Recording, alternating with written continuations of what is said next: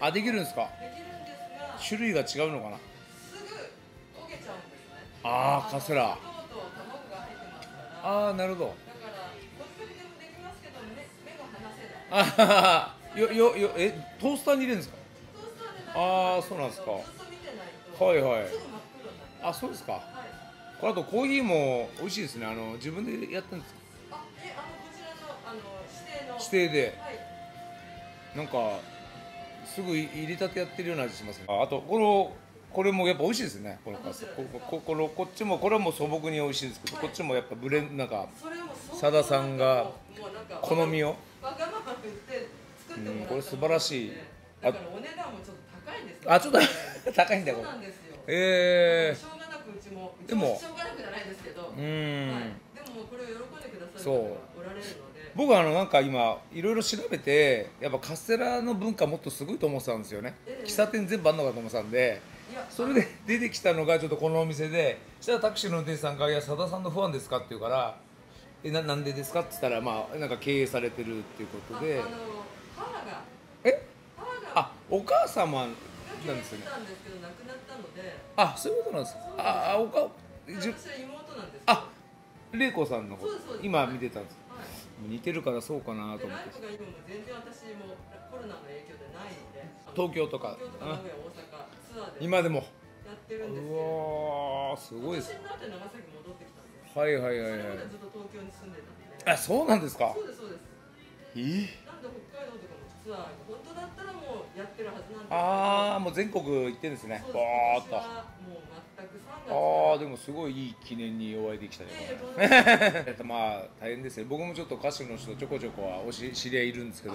ええちょっと格闘技やってて僕ね。あ何も？格闘技やっててあ確かね確かなんか小坂大魔王さんっているじゃないですか。はい。さださん最近仲いいとか言ってたような気がするんだよな。とちょっと前まで一緒になんかお仕事あやっぱそうですか。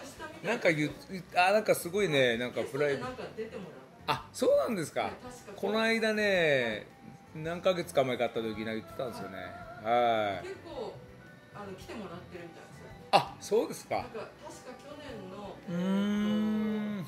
カウントダウンコンサートにもいらっしゃったじゃないですかね。そうですか。結構いろいろ。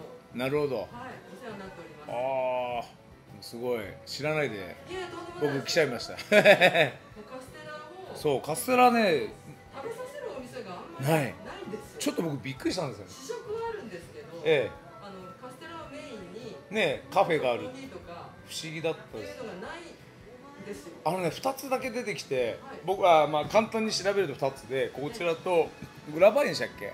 あグラバーグラバー園っていうの？かなうんなんかそこが出てきただけで。かはい。ねせっかくなんかイメージがもうもうちょっとあらあのオランダのハウステンボスみたいな場所ちょっとこの辺もあんのかなと思ってたんですオランダ坂行ってもあんまそうでもないよとかどどどうしようかなと思って今。でも佐田さんってのはちょっと今たまたまあれなんですけどそのねもちろん僕子供の頃から知ってるんですけど、はい、やっぱりあれですかねあの影響を受けてたのは海外の音楽ですかやっぱり？ビその要はボブ・ディランとかあそんなことないか年齢的に？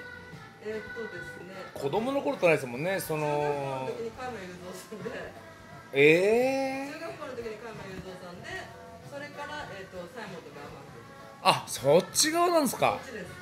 あビートルズではなくてサイモンとガーファンクルですなかなか渋いですね。聞いたことないです。サイモンとガーファンクルのポール・サイモンさんの書く歌詞大大ファンなんですか？歌詞にすごく。歌詞に？歌詞が。すごいですね。影響を受けたあ。ーなんかそういうフォークソングっていう感じだとボブ・デュランとかそういう感じかなと思ったんですけど違う。バイオリンバイオリンなんですか？もともとあの3歳8ヶ月からバイオリンをやってたんで。ええなので。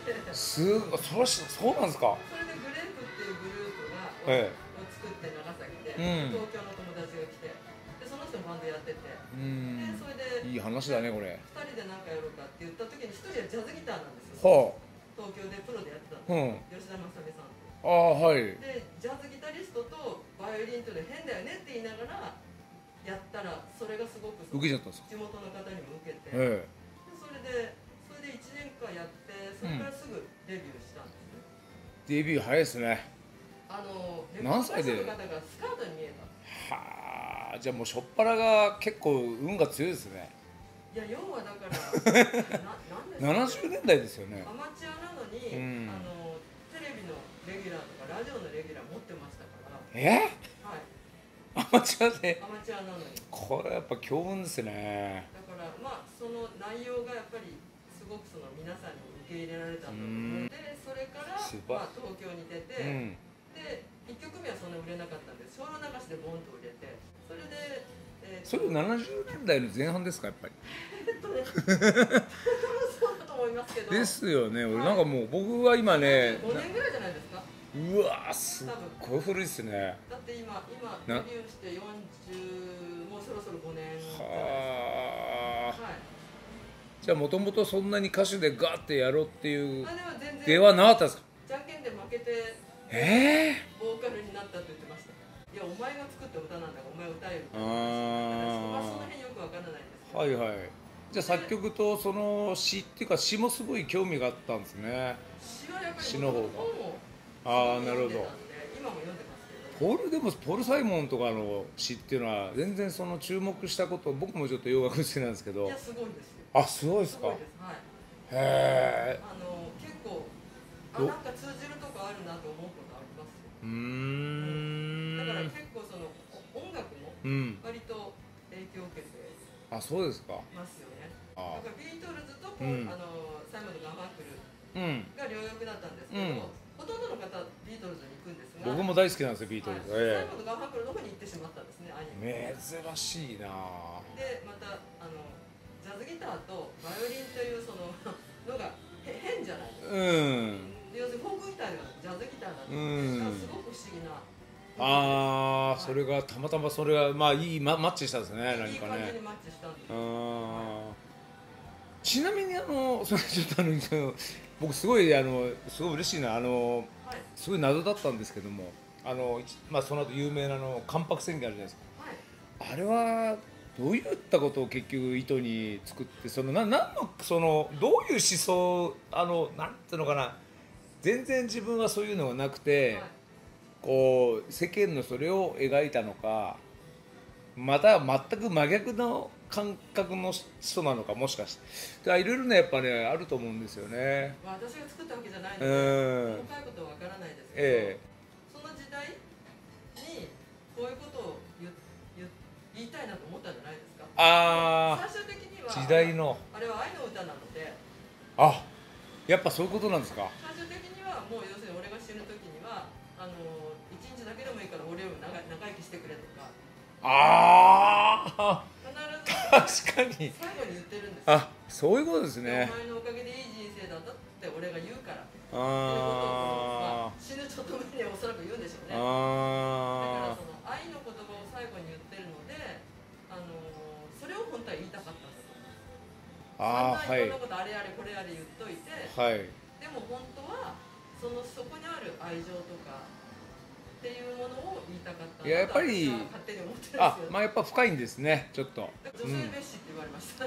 そうでしょうねちょっとね。なんだそんな言い方みたういな。だからんいや最後まで聞いてくださいって。いう。まあ大体8割の人が分かんないですもんね。最後まで聞いてないので長いですから。なるほど。あはい。長いんですね。あはい。ちょっとそれ聞いたらしゆゆっくりちょっと聞きたくなりま一した。回最後まで聞いて。はい。なるほどなってわかります。あわかりました。ありがとうございます。あとないえーっとあのやっぱり妹さんも歌がはい。そのやったっていうのはお兄さんの影響。影響っていうか、まあもともとなんかやってたんもとですか？もと白鳥座というグループがいたんですが、ん。そこに人数足りなかったんで、あの同じ事務所だったんで、あそうだったんですか。お前ちょっと入ってやれみはいたいはい。な感じになって、それで、あそういうす。すごい兄弟ですね。だからは入ってやれって何みたいな。すでごい兄弟ないから、みんなと一緒になんかそんな感じです。ーすごい兄弟まさかこんなことにハマるとは。素晴らしい。真ん中にもう一人兄いますから。あそうなんですか？あの写真ご覧になっていただければ。ああほんあの笑ってんのがまさしで、はい。右側にいるのがその真ん中の兄はい。みんなあのぐずってんのが私なんですけど、たなんかみんなそれぞれすごいですね。はい、ですからあのん。真ん中の兄はもう全く音楽とは関係はい。ない、まあ、事務所のあの一番はい。人なんですけど、まあ、彼はサッカーやってます。あやえサッカーやってる？はい日本で初めてプロのえ？選手になった人でー、すごい兄弟ですす、まねだ J リーグがない時です。え香港のプロサッカーのー、選手。え？はいこれでもちょっとすみません長話で。すあのすごい興味出てきていやあの知らないとこに行こうってことで僕も結構旅、はいよく行くんですけどいろいろはい。で全くちょっと勉強してこなくて格闘技やってたから。であのー、月の平和公園も行ってきたんですけど、はい今あれ映ってるじゃないですかなんか。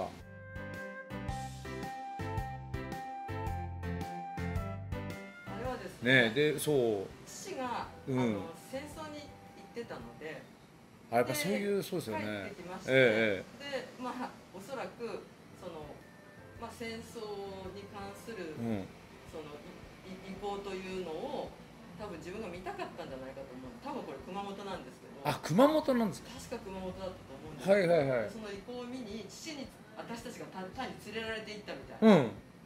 感じだと思いあます、だからそうですか。あれ見てこれなんだろうねってみんなで言ってたんですけどあなんか親父親父のあれなんじゃないみたいな。で結局最終的には分からずに。わからない子供たちは。わからないけどいいい写真ですけどだからそういう時代の影響も受けてるんですか？うちはもともとあの原爆が落ちてから帰ってきあのああお引き上げなのであそうなんでですね。はい。あ。のあの原爆記念館です、はい。平和記念館のところにお家があえったんですよ。え？ー、あそこら辺にはいもうあ焼け野原のところのちょっと小高い丘になってるんですけどそこに家を父が建てましてえそれであのー、えまあ後で聞いた話によると、はい。なんでそこに誰もやっぱり近寄らないんですたくさんなってるのでー、そうですよでもね父は結局自分が戦争に行ってますから、うん。そういったもの怖いとかうん。一切そういうのがないわけですうよ、ん。ですからいやいやいやそれ土でいい。あ地が安いからみたいああ。なあの洋風の家を建てたらしいんですけど。あ建てたらしい。はい、で私はまだ全然生まれてないので、はい。まあ、全員生まれてないんですけど、はであの洋風の家を建てたらその GHQ ですか、いうん。あのその人たちがなんかバーが建ったんじゃないかって言って、うん。夜中に GHQ の人たちがなんかこう来たっていう話も聞いたことああそうなんですか。はい、で母も全部雨戸とか全部閉めて。うん。で誰も来ないようにっていう。ですぐ引っ越しちゃったんですか？いやそれはだから知らないってこと？平和あ。平和記念館を作るので作るから。どっか行ってくださいって言われて。ありがとうございます。すいません。ちょっとねいやいやすごいいろんな話を。私もいろいろなんか調べて。いいですねこの聞け聞けて地元でね。私もいろいろラジオでやってるもんですから。うんで普段はいいらっしゃらないですもんね。いやあのではライブ去は年はまあほとんどいなかったってこと？ですいないです。で手伝ってないってことですよね普段は。まあ基本的にはあ嬉しいそんなタイミングで。すぐもう長崎から東京行きましたすごいタイミングで。あ嬉しいですね。コロナの騒ぎがなければ私多分まだツアーやってて。あそうですか。はい多分いない